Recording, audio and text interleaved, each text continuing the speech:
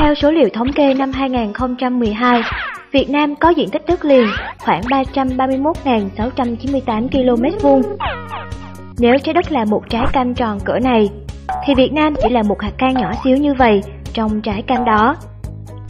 Nhưng cách đây hơn nửa thế kỷ, vào thời khắc lịch sử ngày 7 tháng 5 năm 1954, quốc gia nhỏ bé hình chữ S này đã khiến cả thế giới phải chú ý. Vậy, chuyện gì đã xảy ra? Đó chính là chiến thắng Điện Biên Phủ lịch sử của Việt Nam trước hai đế quốc Pháp và Mỹ. Trên phương diện quốc tế, chiến thắng này có ý nghĩa rất quan trọng. Chiến thắng Điện Biên Phủ đã cổ vũ đồng loạt cho 17 nước châu Phi thuộc địa của Pháp nổi dậy giành lại độc lập. Cũng là lần đầu tiên một nước thuộc địa đại thắng bằng quân sự trước các nước đế quốc thực dân và là yếu tố dẫn đến sự kết thúc của chủ nghĩa thực dân kiểu cổ điển đã tồn tại hơn 400 năm trên thế giới. Đó chỉ là một phần của câu chuyện về lịch sử Việt Nam. Vậy, có bao giờ bạn tự hỏi vì sao Việt Nam lại được hình dạng chữ S như bây giờ? Để giữ được hình chữ S đó, chúng ta đã trải qua những gì? Hãy cùng nhau tìm hiểu điều này nhé! Khởi thủy Từ Văn Lang đến hết Âu Lạc của thuộc phán An Dương Vương, Việt Nam chuyển qua giai đoạn chìm đắm trong một ngàn năm bắc thuộc Mãi đến khi Ngô Quyền đại thắng quân Nam Hán, lập ra nhà Ngô, mới mở ra một thời kỳ độc lập tự chủ lâu dài cho dân tộc Việt Nam. Qua những triều đại độc lập đầu tiên, đến triều nhà Lý, năm 1010, Lý Công Uẩn lên ngôi. Khi đó, diện tích lãnh thổ của nước ta bao gồm vùng đồng bằng Bắc Bộ và ba tỉnh Thanh Hóa, Nghệ An, Hà Tĩnh Diện tích lãnh thổ lúc này cũng tương đương với nước Văn Lan khoảng 5 năm trăm trước công nguyên. Từ đây về sau, lãnh thổ Việt Nam mới dần được mở rộng. Bây giờ, chúng ta cùng tạm chia nó theo năm vùng địa lý liên quan để dễ dàng tìm hiểu. Tây Bắc Miền Trung Nam Bộ Hoàng Sa, Trường Sa Tây Nguyên Tây Bắc Năm 1014, một vương quốc cổ là Đại Lý, phái tướng quân tên đoàn kính chí đem quân sang chiếm tỉnh Tuyên Quang của Việt Nam. Nhà Lý đã đánh trả và nước Đại Lý đại bại. Nhân đó, vua Lý sắp nhập luôn các vùng đất của nước này vào nước ta, mà hiện tại là Hà Giang, Lào Cai, Yên Bái, qua các năm 1014 và 1159. Các tỉnh Tây Bắc kế tiếp như Sơn La là đất của tộc người Thái, tiểu vương quốc Bồn Mang cũng được vua Lý thu phục. Còn lại, các tỉnh Lai Châu, Điện Biên, chúng được trao cho lãnh thổ Việt Nam sau Hiệp ước Pháp Thanh năm 1887 khi Pháp sang xâm lược Việt Nam và có tranh chấp với Trung Quốc. Miền Trung Các tỉnh duyên hải miền Trung từ Quảng Bình đến Bình Thuận ngày nay đều là đất của vương quốc Champa khi xưa từ năm 1069 đến năm 1693, các triều vua và chúa Việt Nam đã tiến chiếm toàn bộ lãnh thổ nước Champa. Chỉ ngoài trừ một lần duy nhất vào năm 1306, vua Chăm đã dâng hai châu Ô, Lý, tức là đất Quảng Trị và Thừa Thiên Huế, cho vua Trần làm sinh lễ để hỏi cưới Huyền Trân công chúa. Còn lại, tất cả những vùng đất khác đều được sáp nhập qua các lần giao tranh.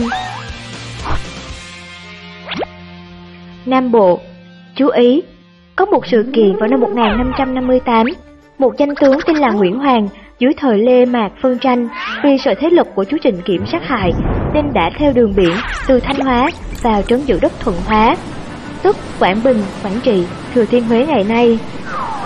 Từ đây, ông trở thành người tiên phong và tạo tiền đề cho Việt Nam tiến mở rộng bờ cõi chưa từng thấy trong lịch sử Việt Nam về sau. Qua chín đời chúa Nguyễn và 13 đời vua Nguyễn, theo đó, toàn bộ vùng đất từ Phú Yên đến cực Nam Cà Mau bây giờ đều là công sắp nhập của các vua chúa nhà Nguyễn. Tiếp theo, đất Nam Bộ bây giờ trước kia thuộc chủ quyền nước Campuchia.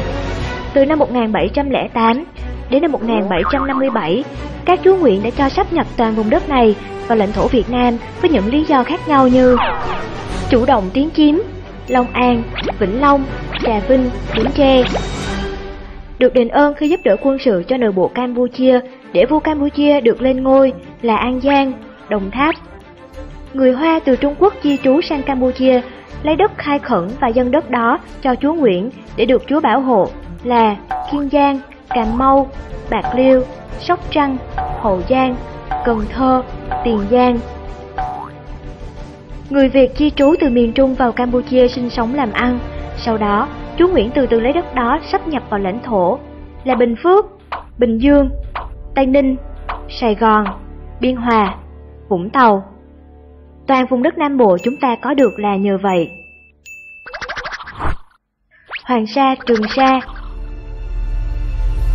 Năm 1816, vua Nguyễn Ánh cho chính thức cấm cờ xác lập chủ quyền, quản lý hai quần đảo Hoàng Sa, Trường Sa. Trước đó từ lâu, khoảng 200 năm, các chú Nguyễn cũng đã lập đội Hoàng Sa, hàng năm ra các đảo tìm kiếm sản vật. Ngày nay, theo Công ước Liên Hiệp Quốc về luật biển UNCLOS năm 1982, Việt Nam hoàn toàn có thể khẳng định chủ quyền tại các quần đảo này. Tây Nguyên Năm 1830 đến năm 1834, vua Minh Mạng cho sắp nhập vùng Tây Nguyên là Con Tum, Gia Lai, Đắk Lắk, Đắk Nông và Lâm Đồng của các bộ tộc người thiểu số đang tự trị ở đây và bản đồ nước ta. Tới đây, quá trình dựng nước về mặt lãnh thổ xem như hoàn thiện. Chúng ta đã có được một chữ S hoàn chỉnh. Nhưng để giữ vững và bảo vệ toàn vẹn chữ S đó lại là một câu chuyện rất khác. Chiến tranh Bắt đầu từ Âu Lạc đến nay, Việt Nam có khoảng hơn 2.269 năm lịch sử. Tuy với bề dày lịch sử như thế, nhưng có lẽ hiếm có quốc gia nào như Việt Nam để giữ được độc lập và chủ quyền đã phải trải qua nhiều gian khổ trước những đế quốc to lớn hơn mình. Chúng ta hãy thử làm một phép tính. Với 4 lần bắt thuộc Trung Quốc, lần 1 246 năm, lần 2 501 năm, lần 3 336 năm, lần 4 Giặc Minh xâm lăng 13 năm, tổng cộng 1096 năm bị Trung Quốc đô hộ. Nội chiến Phương tranh Lê Mạc và Trịnh Nguyễn 261 năm. Đế quốc xâm lược, Pháp thuộc 82 năm, Nhật thuộc 5 năm, Chống Pháp 9 năm, Chống Mỹ 21 năm, Tổng cộng 117 năm. Lấy tổng số 2.269 năm lịch sử của Việt Nam trừ đi cho tổng thời gian bị các nước Trung Quốc và đế quốc đô hộ xâm lược lẫn thời gian từ nội chiến phân tranh trong nước.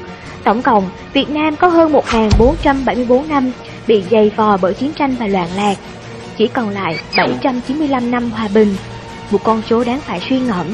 Khi mà số năm chiến tranh và bị xâm lược còn lớn hơn cả số năm độc lập và hòa bình. Dành cho Việt Nam hôm nay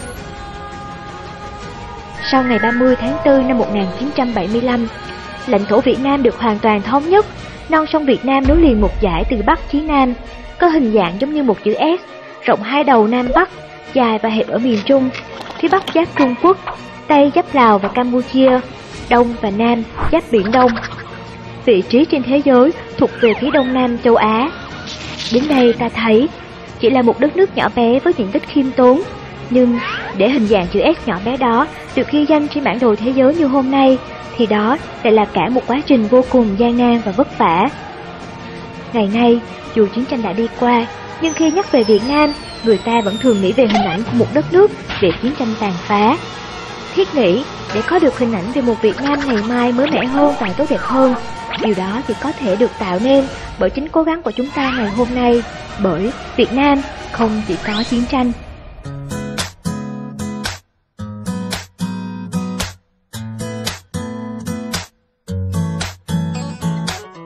Sài Gòn đường đông người ghé nhộn nhịp người đi và xe. Lòng vòng bàn chân mỏi mệt thấy nhẹ nhàng tâm.